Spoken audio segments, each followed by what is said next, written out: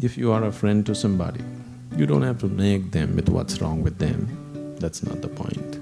But at the same time, you must have the courage to be unpopular with people. In just trying to be popular with people, just see how many stupid things you're doing with your life.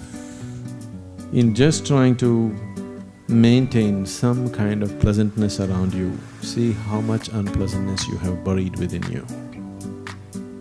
If you bury unpleasantness, if you put seeds of unpleasantness into the soil, you'll reap fruits of unpleasantness, isn't it? The more and more unpleasantness you bury within yourself, you will reap a fruit like that.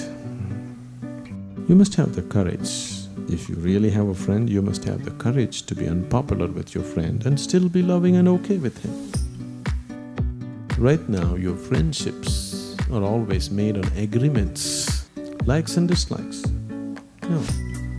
You're apples and oranges and still you can be good friends.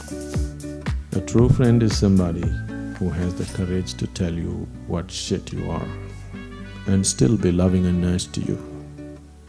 Yes?